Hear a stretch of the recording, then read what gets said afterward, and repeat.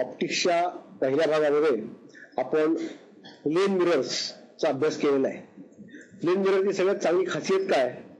तर ऑब्जेक्टचा साईज आणि इमेजचा साईज सारखा असतो. आणि ऑब्जेक्टचं डिस्टन्स आणि इमेजचं डिस्टन्स सारखं असतं. आता आपण एक पॉईंट पुढे जाणार आहोत आणि आपण स्फेरिकल मिरर शिकणार आहोत. स्फेरिकल मिरर म्हणजे काय? ते कसे डिफाईन करतात? A spherical mirror is a reflecting surface which is a part of a sphere spherical mirror म्हणजे काय तर चेंडूसारख्या गोला गोलाकाराचा एक छोटासा भाग। Depending on whether the concave surface is reflecting or a convex surface is reflecting, the mirror is either a concave mirror or a convex mirror. यातला कुठला सरफेस त्याचा रिफ्लेक्टिंग आहे? आता पुढची पुढचं चित्र बघा। डावीकडे आपल्याला कॉन्व्हेक्स मिरर दिसतो। त्याचा कॉन्व्हेक्स सरफेस रिफ्लेक्शन केलेला आहे. आणि उजवीकडच्या बाजूला जो आहे तो कॉन्केव मिरर आहे. त्याचा आतला भाग तो हा रिफ्लेक्टिंग असा केलेला आहे. कुठलाही स्पेरिकल मिरर घेतला की त्याच्या काही गोष्टी आपल्याला माहिती असल्या पाहिजे.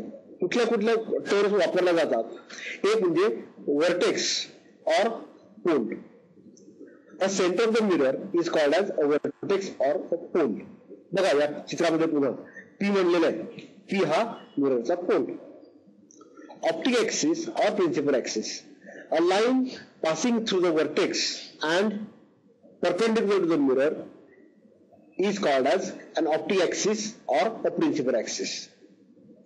Focus, सगळ्यात महत्वाची टर्म आहे a point on the optic axis of a mirror at which rays parallel to the optic axis are focused or appear to be focused after getting reflected from the mirror असा एक त्या optic वरचा point की ज्या ठिकाणी optic ऍक्सिसला समांतर आलेले किरण हे आरशावर पडून परावर्तन जेव्हा होतं तेव्हा त्या एकाच बिंदूमधून जातात त्या बिंदूला आपण फोकस असं म्हणतो centre of curvature it is the point on the optic axis of a mirror which is the centre of curvature of a spherical surface of the convex or concave mirror पुढे चित्र बघा ह्या चित्रामध्ये C हा जो point आहे हा point आहे स्फेरिकल सरफेसचा सेंटर आहे.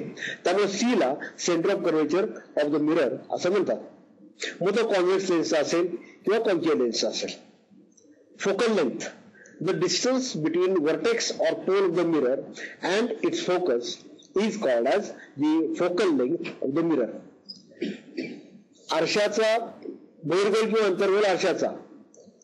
मध्य म्हणजे ज्याला आपण वर्टेक्स किंवा म्हणतो तो. आणि त्याचा फोकस या दोन्ही मधलं जे अंतर आहे त्या अंतराला फोकल लेंथ असं म्हटलेलं आहे. Radius of curvature radius of curvature म्हणजे त्रिज्या. आपल्याला माहिती आहे distance between the vertex and the centre of curvature of a mirror is called as the radius of curvature of the mirror remember that radius of curvature R is twice the focal length in case of spherical mirrors. That is r is equal to twice f आता आपल्याला lens किंवा mirror कुठलाही optical एखादा part दिल्यानंतर आपल्याला त्याच्यामध्ये image formation जे आहे ते बघायसाठी आपल्याला रेडाग्राम काढावा लागतो. हा रेड रेडाग्राम काढायसाठी आपल्याला काही गोष्टी लक्षात ठेवायला पाहिजेत. म्हणून त्याला आपण असं म्हटलं hints to draw a ray diagram काय हिंट्स आहेत एक रिंग A ray initially parallel to optic axis passes through the focus after reflection. म्हणजे इनिशियली जर ऑप्टिक ऍक्सिसला पॅरल असा किरण जर आला तर तो आरशावर पडल्यानंतर तो फोकस मधून जातो किंवा फोकस मधून गेलाय असं आपल्याला वाटतं. हा एक एक हिंट लक्षात ठेवायची. दुसरी हिंट काय आहे? Ray passing through focus and incident on the mirror travels parallel to the optic axis म्हणजे काय? जर एखादा प्रकाश किरण हा फोकस मधून आला आणि आरशावर आदळला तर तो परावर्तन झाल्यानंतर आरशाच्या ऑप्टिक ऍक्सिसला समांतर या दिशेने जातो. तिसरी हिंट काय आहे? Ray travelling along the optic axis toward the mirror gets reflected along the optic axis जर ऑप्टिक ऍक्सिसवरचा एखादा प्रकाश किरण आला आणि आरशावर along the optic axis optic axis दिशेनं जर गेला तर तो परावर्तनानंतर मग त्याच दिशेने परत जातो. आणि चार ray passing through the centre of curvature is reflected back along itself आणि चौथं आणि महत्वाचं काय आहे? की जेव्हा प्रकाश किरण हा सेंटर ऑफ कर्वेचर मधून जातो तेव्हा तो सेंटर ऑफ कर्वेचर मधून गेलेला प्रकाश किरण हा परावर्तन होऊन परत सेंटर ऑफ कर्वेचर मधूनच जातो. हे चार मुद्दे लक्षात ठेवायचे. हे ठेवले लक्षात की आपल्याला रे डायग्राम हा काढता येतो. बघूया कसा काढायचा तो. Ray diagram for a convex mirror बहिर्गोल आरशासाठी. आता ए बी हे ऑब्जेक्ट आहे. ए पासून एक प्रकाश किरण निघाला आरशावर आदळला तो ऑप्टिक ऍक्सिसला म्हणजे बीसी हा जो ऑप्टिक ऍक्सिस आहे त्याला समांतर गेला. आणि तिथनं त्याचं परावर्तन झालं. ते परावर्तन झाल्यानंतर तो आरशापासून दूर गेला. पण जर आपण तो रे पाठीमुळे वाढवला तर प्रकाश किरण आपण पाठीमुळे वाढवला तर तो आपल्याला एफ मधनं गेलाय असं जाणवतं. दुसरा जो रे आहे तो म्हणजे ते पासून निघाला आणि सेंटर ऑफ करेचरमध्ये गेला. आता प्रत्यक्षाने तो सेंटर ऑफ करेचर जाऊ शकणार नाही कारण कॉन्व्हेक्स मिरर आहे. तो ए मध्ये निघाला आणि परत तो रिफ्लेक्ट परत ए मध्ये गेला. पण हा जर आपण रे पाठीमागे वाढवला तर तो सेंटर ऑफ करेचर मधून जाईल. आणि मग हे जे दोन मागे वाढवलेले रेज एकमेकाला मिळतात तो जो पॉईंट तो पॉईंट म्हणजे ए आणि बी हा पॉईंट हा ऑप्टिक एक्सेस वरचा आहे. म्हणून ए बी ही इमेज आपल्याला मिळाली. लक्षात काय ठेवायचं तर in case of a convex mirror for any position of the object the image is reduced, erect and virtual.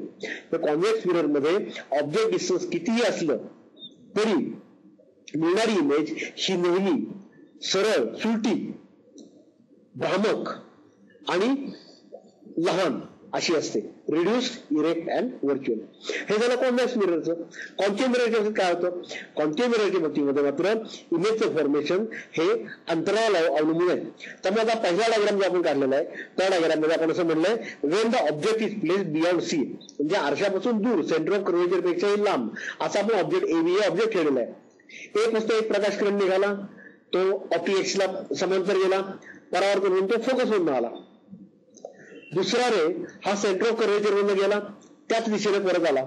AC आरशावर आदळला आणि त्या दिशेने परत आला. आणि हे दोन रे एकमेकाला ए ह्या पॉईंट पेशी मिळतात. म्हणून ए बी ही उलटी प्रतिमा मिळाली. म्हणजे याचा अर्थ काय झाला? की जेव्हा आपण ऑब्जेक्ट हे सेंटर ऑफपेक्षा लांब अंतरावर ठेवतो त्यावेळी कॉन्केव मिररमध्ये मिळणारी इमेज ही उलटी असते खरी असते आणि लहान असते. ऑब्जेक्टच्या साईजपेक्षा लहान असते. असं आपल्याला या ठिकाणी दिसतंय. आता हे झालं ऑब्जेक्ट जेव्हा कॉन्केव मिररपेक्षा कॉन्केव मिररच्या सेंटर ऑफ कर्वेचरपेक्षा लांब अंतरावर असेल तेव्हा. ऑब्जेक्ट जर सेंटर ऑफ कर्वेचर असेल वर असेल तर काय होईल? बघा. ए बी हे ऑब्जेक्ट आहे वरच्या बाजूला. आणि ए पासून एक प्रकाश करण निघाला. ऑप्टिक एक्सेसचा समांतर गेला. आरशावर आदळला तिथं परावर्तन झालं. आणि तो फोकस होऊन आला दुसरा किरण हा एक मधनं गेला फोकस मधनं गेला आणि तो ऑप्टिक एक्सला पॅरल दिशेने परत आला. आणि हे दोन रेज एकमेकाला जिथे मिळतात त्या ठिकाणी आपल्याला ए ह्या पॉईंट झाला म्हणजे ए बी ही आपल्याला उलटी इमेज मिळाली. काय आठवण आपल्याला? जर जेव्हा आपण सेंटर ऑफ करेजरपेक्षा ऑब्जेक्ट ठेवतो तेव्हा ऑब्जेक्टचा साईज आणि इमेजचा साईज दोन्ही सारखे असतात. ऑब्जेक्टची उंची आणि इमेजची उंची हे दोन्ही सारखे असतात. इमेज ही उलटी असते. आणि खरी असते. आणि ऑब्जेक्टचा डिस्टन्स आणि इमेजचा डिस्टन्स हे सारखं असतं. आता जर आपण ऑब्जेक्ट हे फोकस आणि सेंटर करोजरच्या मध्ये ठेवलं तर काय होईल? बघा एबी हे ऑब्जेक्ट फोकस आणि सेंटर करोजरच्या मध्ये ठेवलेलं आहे. ए पासून प्रकाश किरण निघाला. आरशा राधाळला तिथनं फोकस होऊन परत आला. कारण तो ऑप्टिक एक्सला समांतर होता.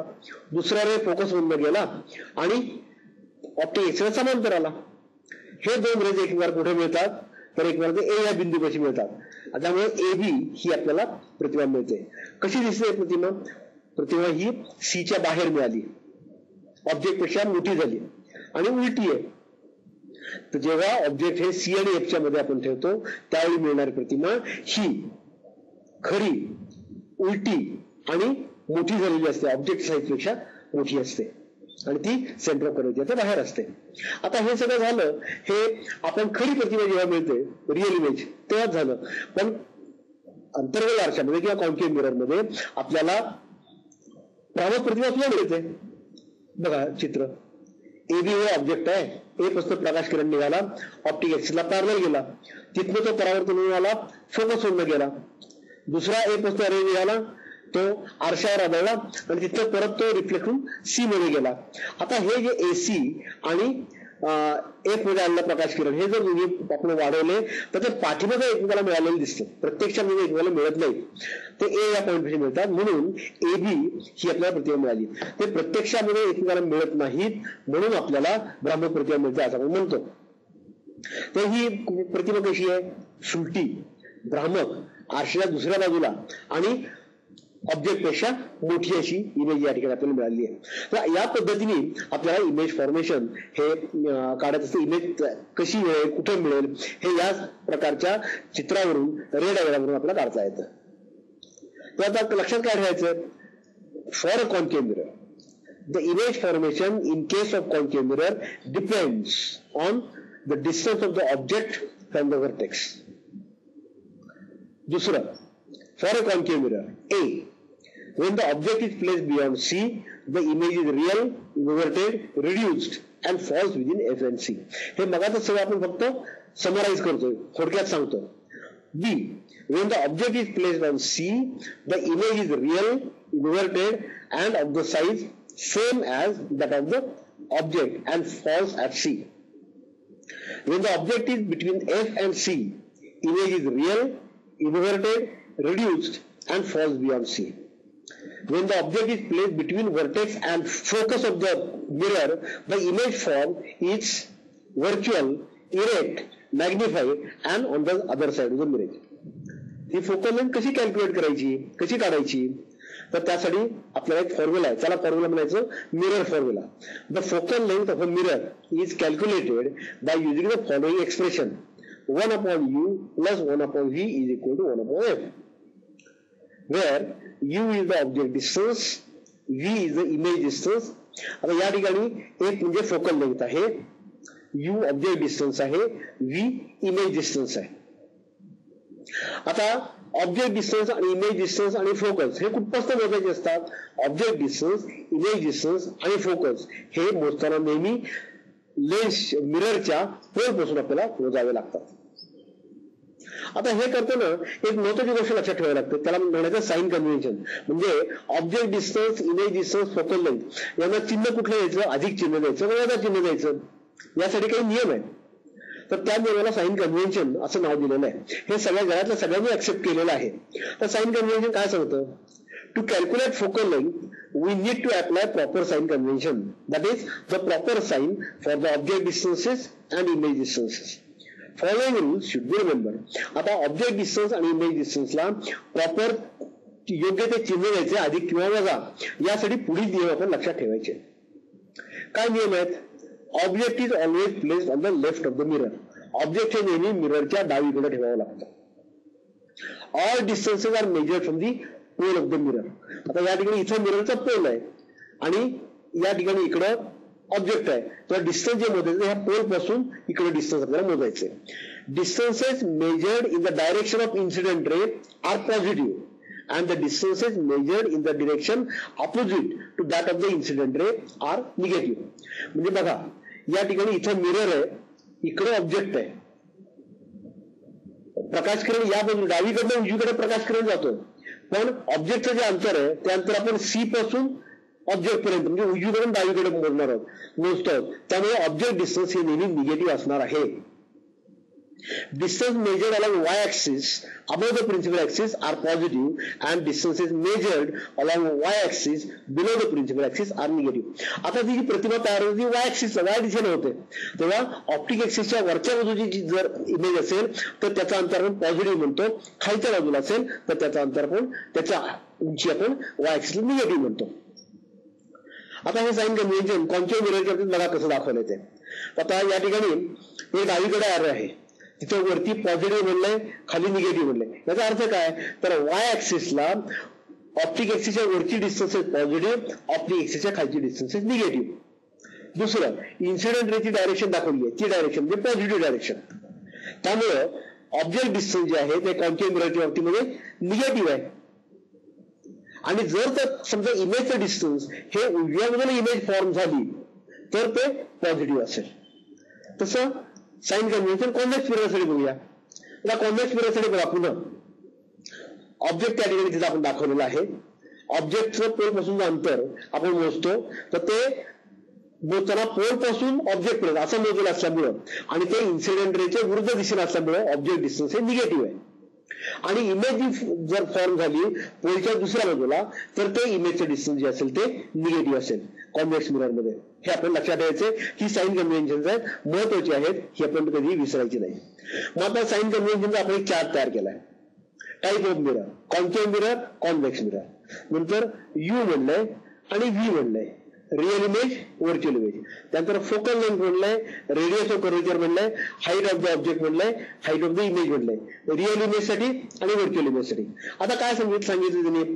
कॉन्केव्ह मिरर जर असेल तर यू नेहमी निगेटिव्ह रिअल इमेजला व्ही निगेटिव्ह व्हर्च्युअल इमेजला व्ही पॉझिटिव्ह कॉन्केव्ह मिररला age negative R negative height of the object positive आणि कॉन्केव्ह मिररला जर रिअल इमेज असेल तर height of the image negative असते आणि जर व्हर्च्युअल इमेज असेल तर इमेजची हाईट ही पॉझिटिव्ह घेतली जाते.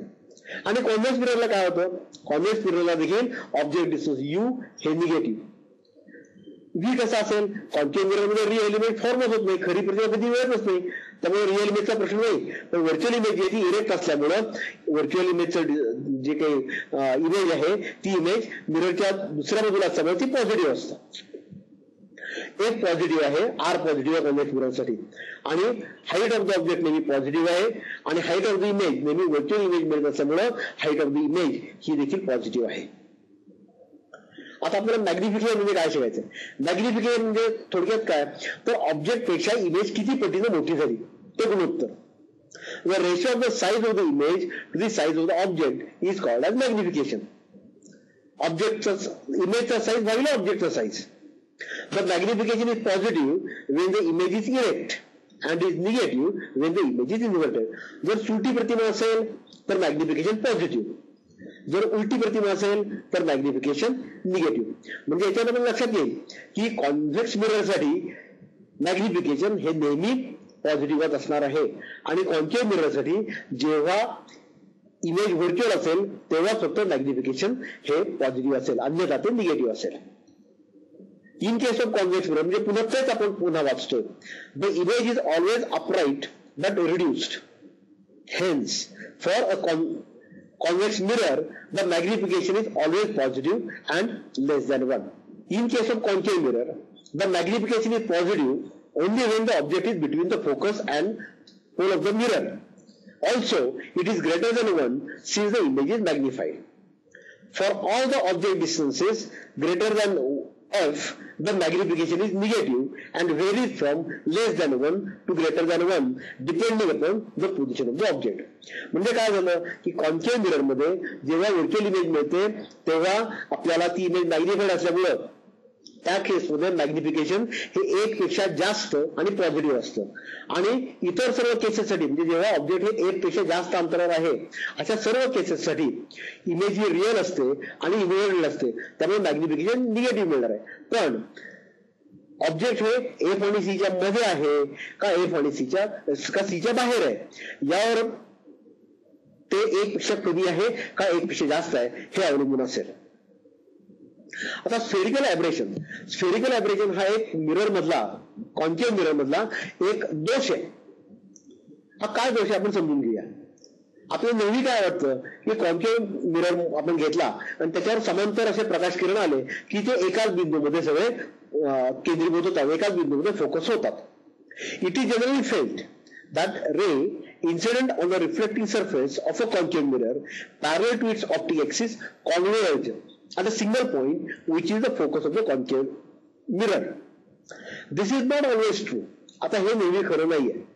Especially when the objects are comparatively taller जेव्हा ऑब्जेक्ट उंच असेल जास्त तेव्हा काय होतं? The rays are focused at different points as shown the next slide because of this the image does not appear clearly focused this phenomenon is called as a spherical aberration. आता बघूया आपण. हे बघा. पहिलं चित्र बघा. त्या ऑब्जेक्टच्या डोक्यापासून एक प्रकाश किरण निघाला. मिररच्या सेंटरपाशी गेला. परावर्तन झालं. दुसरा प्रकाश किरण तिथनं निघाला. तो कॉन्के मिररवर गेला. परावर्तन त्याच दिशेने परत गेला. म्हणजे तो सी मधनं गेला. आता हे दोन रेज एक जिथे मिळतात इमेज फॉर्म होणार आहे पण आता आणखीन एक रे रे आहे ना आपण विचारात घेऊ शकतो ना. रे हा प्रिन्सिपल ऍक्सेसचा पॅरल तिसरा तिसरं चित्र बघा. लाल रंगाने काढलेला रे जो आहे तो प्रिन्सिपल ऍक्सेसला पॅरल आला. आणि तो फोकसमध्ये गेला आता हा रेज आहे हा पूर्वीच्या दोन रेजला एकाच पॉईंटमध्ये छेदत नाहीये. त्यामुळे इथं बघा इथे किती छेद बिंदू झाले? एक दोन तीन. त्यामुळे तीन इमेजेस मिळतात. म्हणजेच काय होतं? तर फोकस हे तीन ठिकाणी होत असल्यामुळे जी इमेज मिळते ही इमेज आपल्याला दुसर अशी मिळते स्पष्ट प्रतिमा मिळत नाही तर हा जो त्या मिरर मधला डिफेक्ट आहे त्या डिफेक्टला स्फेरिकल ॲव्हरेशन असं नाव आहे. आता करेक्शन हा स्पेरिकल ऍब्रेशन जे आहे घालवायला पाहिजे. घालायचं कसं? तर त्याला म्हणायचं correction for spherical aberration spherical aberration मधली दुरुस्ती. See the image of a taller object is not clearly define in case of a concave mirror it need some method to make necessary correction so that the rays focus a single point आता हे कसं केलं जातं? तर तो जो आरसा आहे हा आरसा कॉन्केट होण्याच्या ऐवजी थोडासा पॅरावेरिक करायचा. थोडासा लंबवर्तुळाकार असा करायचा. अगदी बरोबर फेरिकल ठेवायचा नाही. This is done by making mirror parabolic instead of a spherical the next two side show this आता बघा काय झालं. डावीकडचं चित्र आहे कॉन्केव्ह मिररचं इमेजेस वेगवेगळ्या ठिकाणी फोकस झालेल्या दिसतात.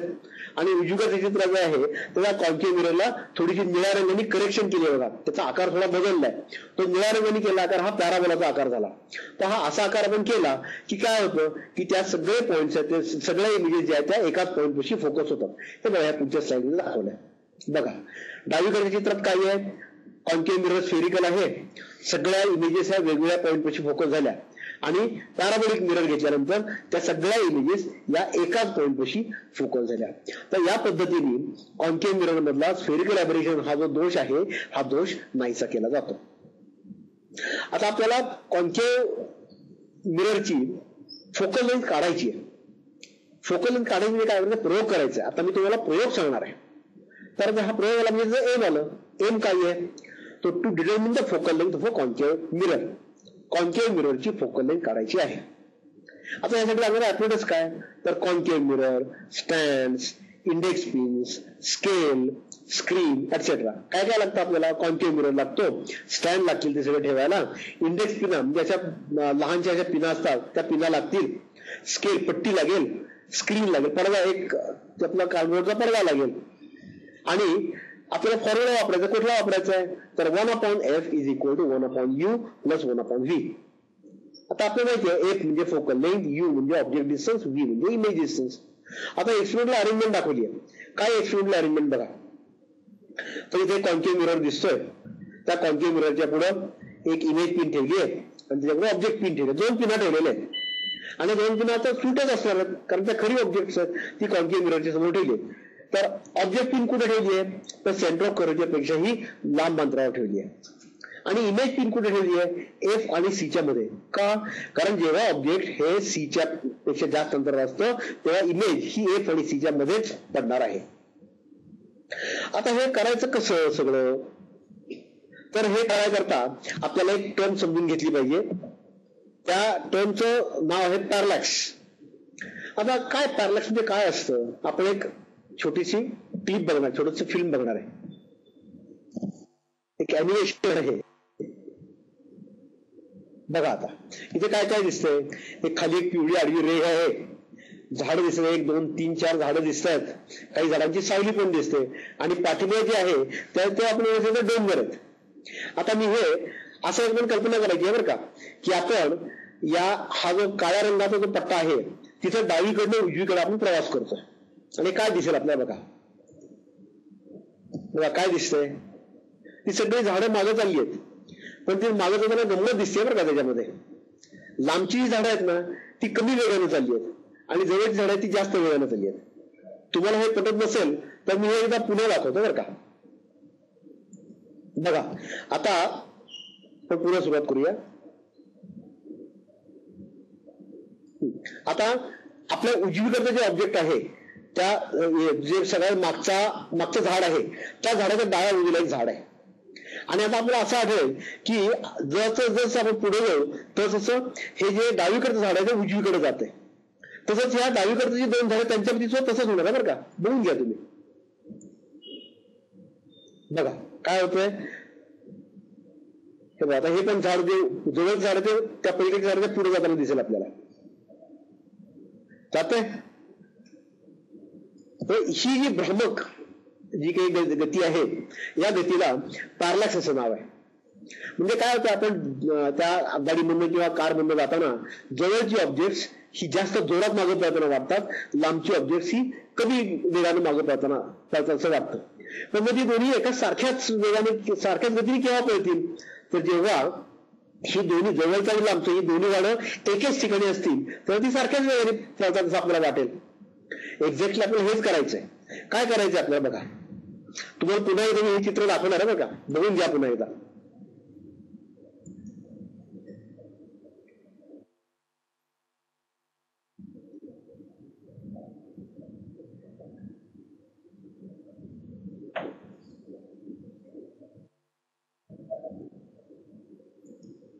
बघा तुमच्या आता लक्षात आलं असेल की ही जी भ्रामक जी काही गती आहे ही गती कशी असते हे आपण लक्षात आलं असेल.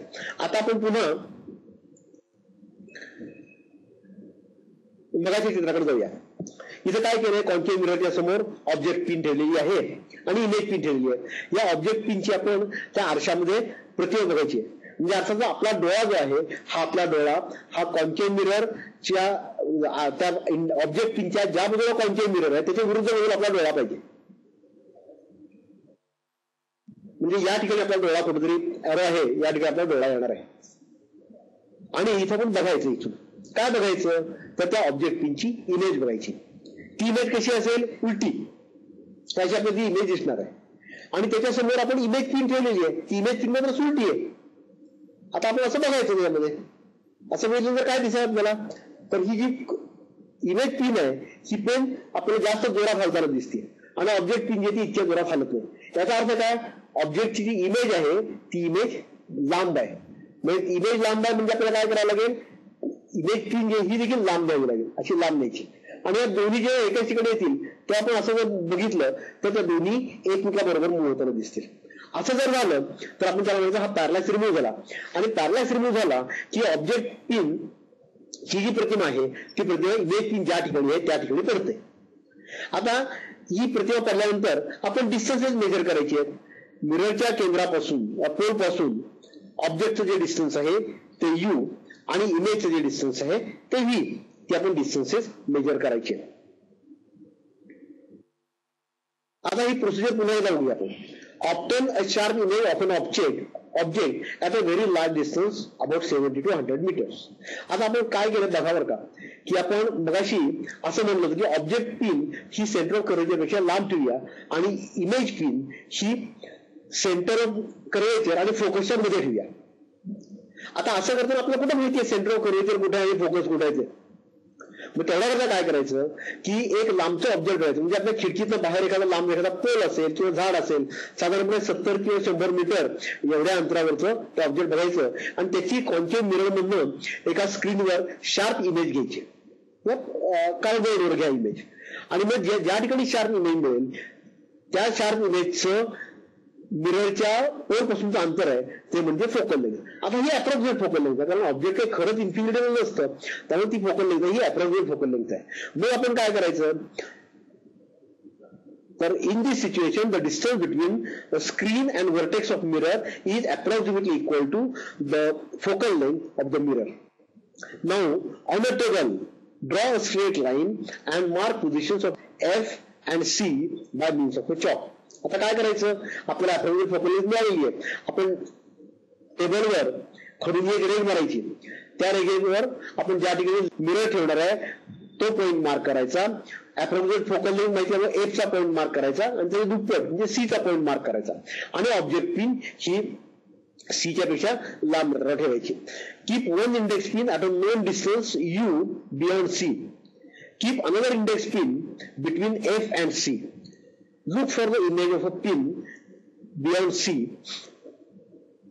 in the mirror and adjust the position of the pin kept between F and C so that the parallel between the image of the object pin kept beyond C and the image pin between F and C is removed completely. मला मी सांगितलं त्या पद्धतीने दोन्ही एकमेच्या बरोबर असे move व्हायला पाहिजेत असे मूव झाले की पॅरलास हा पूर्णपणे रिमूव्ह झाला In this position, the image pin defines the position of the image of the object pin. Measure the distance between vertex the, uh, of the mirror and the image index pin. This is the image distance V. Determination of focal length of a concave mirror. Use the sign convention properly and calculate f by using the formula आता आपण sign convention बघितलेलं आहे की for a concave mirror u and v are always negative U negative आहे V negative आहे. म्हणजे F देखील negative येणारच आहे कारण one upon F is equal to one upon u plus one upon v त्यामुळे आपल्याला फोकल लेग जी मिळणार आहे ही फोकल लेग देखील निगेटिव्ह मिळणार आहे. आता हा जो प्रयोग आहे हा प्रयोग वेगवेगळ्या अंतरांसाठी जेव्हा जेव्हा रिअल इमेज मिळते त्या अंतरांसाठी हा रिपीट करा. आणि रिपीट करून त्या सगळ्यावरनं फोकल लेग कॅल्क्युलेट करा. Repeat the experiment for various object distances greater than F to get real images आता पुढे काय करायचं? तर ऑब्जेक्ट जे आहे ते फोकस आणि मिररच्या मध्ये ठेवायचं. आणि इमेज पिन जी आहे ती मिररच्या पाठीमागच्या वर ठेवायची. आता ती इमेज आपल्या मिररच्या वरनं दिसली पाहिजे बरं का. आता काय करायचं? त्या ऑब्जेक्ट पिनची मिररमध्ये व्हर्च्युअल इमेज बघायची कारण ती व्हर्च्युअल दिसणार आहे. एकच्या आत ऑब्जेक्ट ठेवला असल्यामुळं आणि पाठीमागची जी पिन आहे ती पिन आणि ही व्हर्च्युअल इमेज या दोन्ही मधला आता पॅरलास रिमूव्ह करायचा. आता दोन्ही असे सुलटे असणार आहेत. असा पॅरलास तुरीतला रिमूव्ह झाला पाहिजे. असं ते इमेज पिनचं डिस्टन्स आरशीच्या मागे ऍडजस्ट करायचं. हे डिस्टन्स ऍडजस्ट केल्यानंतर यू नोन आहे व्ही मेजर करा आणि एफ कॅल्क्युलेट करा. रिपीट फॉर अनदर डिस्टन्स आता कॉन्केव ची आपण फोकल काढली. त्या कॉन्केव उपयोग काय? The use of concave mirror depend upon the distance of the object from the mirror कारण आपल्याला माहिती आहे कॉन्केव मिररमध्ये ऑब्जेक्ट डिस्टन्स बदललं की इमेजचा साईज बदलतो. इमेजचा साईजच नव्हे तर इमेज रिअल आहे का व्हर्च्युअल आहे हे देखील बदलतं. त्यामुळं the use of concave mirror depends upon the distance of the object from the mirror some of the uses are listed below concave mirrors are use for the following purposes reflectors in the headlights of, of cars, searchlights, in torches, etc. to obtain a parallel beam of light. Focus वर आपण source ठेवला की पॅरल beam मिळणार आहे for this the source of light is placed at the focus of the concave reflector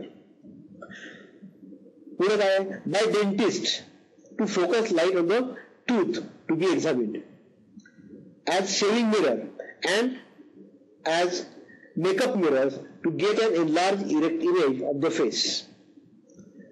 to concentrate solar radiations in solar heating devices. For this, the flow or substance that has to be heated is placed at the focus of the large concave, actually parabolic reflector. After reflection, sunlight converges on the substance and heats it. Uses of convex mirror. a rear view mirror in automobiles गाडीमध्ये ड्रायव्हरला पाठीवरची गोष्टी बघाय करता जो आरसा असतो. तो convex mirror असतो. त्याला रिअर व्ह्यू म्हणतात. म्हणजे पाठीमागचं दृश्य बघायसाठी. The convex mirror gives the driver a clear view of the traffic approaching from behind as convex mirrors are curve outwards giving a wider field of view म्हणजे convex mirror काय करतो? तर आपल्याला erect image देतो. उलटी देत नाही. त्यामुळे पाठीमागचे सगळे आपल्याला ऑब्जेक्ट व्यवस्थित दिसतात. आणि दुसरं म्हणजे तो सरफेस कॉन्व्हेक्स असल्यामुळं त्याचा जास्त फील्ड ऑफ व्ह्यू त्याचा जास्त असतो जास्त अंतरामधली जास्त आडव्या अंतरामधली ऑब्जेक्ट आपल्याला दिसू शकतात. Vigilance mirror is a departmental store departmental store मुळे हे कॉन्व्हेक्स मिरर ठेवलेले असतात. कोणी काही चोरत नाही ना हे बघायला करता त्याला विजिलन्स मिरर असं म्हणतात. त्यांचा reflector in street lamps so as to diverge light over a large area म्हणजे कॉन्व्हेक्स मिरर हा स्ट्रीट लाइट जे असतात रस्त्यावरचे दिवे असतात त्या दिव्यामध्ये रिफ्लेक्टर म्हणून कॉन्व्हेक्स मिरर त्या ठिकाणी वापरलेले असतात आता हे आपण सगळं शिकलेलो आहोत आता आपल्याला प्रश्नाची उत्तरं द्यायची आहेत ही उत्तरं तुम्ही द्यायची आहेत define magnification define centre of curvature pole of a spherical mirror.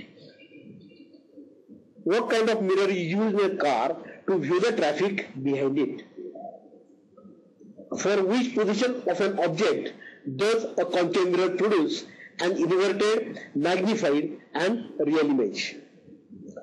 Name the spherical mirror which can produce a real and diminished image of an object. Give the nature, position and size of the image formed by a concave mirror when an object is placed between focus and pole of the mirror. List out any two uses of the concave mirror. Concave mirror कुठलेही दोन उपयोग सांगा. What is the nature of the ray of light incident on the concave mirror if it passes through the focus of the mirror after reflection? म्हणजे परावर्तनानंतर प्रकाश किरण जर फोकसमध्ये जात असेल तर त्या प्रकाशाचं नेचर काय कशा प्रकारचा प्रकाश असेल What is the mirror formula for a concave mirror? What is the nature of the image formed by a concave mirror if the magnification produced by it is negative? Distinguish between concave and convex mirrors. The radius of curvature of mirror is plus 20 centimeter. Identify the mirror. What is the focal length of the mirror? You are given two mirrors A and B of focal lengths 25 centimeter and minus 20 centimeter respectively. Which one will you use as a converging mirror and why? आपण दोन आरसे दिलेत एकाची focal length plus पंचवीस centimetre आहे दुसऱ्याची minus twenty centimetre आहे. यातला कुठला आरसा हा आपल्याला कॉन्व्हर्जिंग मिरर म्हणून वापरता येईल आणि का? Why is convex mirror use as a rear view mirror is automobiles automobile मध्ये पाठीमागच्या गोष्टी बघायसाठी कॉन्व्हेक्स मिरर का वापरतात? You are given three mirrors of equal size how will you identify them as convex, concave and plane mirror? What is the position of an image when an object is placed at a distance 20 cm from a concave mirror of focal length 20 cm? How do you define magnification? Why a convex mirror has positive magnification? A concave mirror can produce positive or negative magnification. Why? What is meant by spherical aberration? How the defect of spherical aberration is removed? Why do we use parabolic reflectors? With proper ray diagram, explain the method of determination of focal length of a concave mirror by the method of removal of parallax. चांगला व्यवस्थित ray diagram काढून concave मिररची focal length काढायचा प्रयोग हा सविस्तर लिहा can you explain the term parallax thank you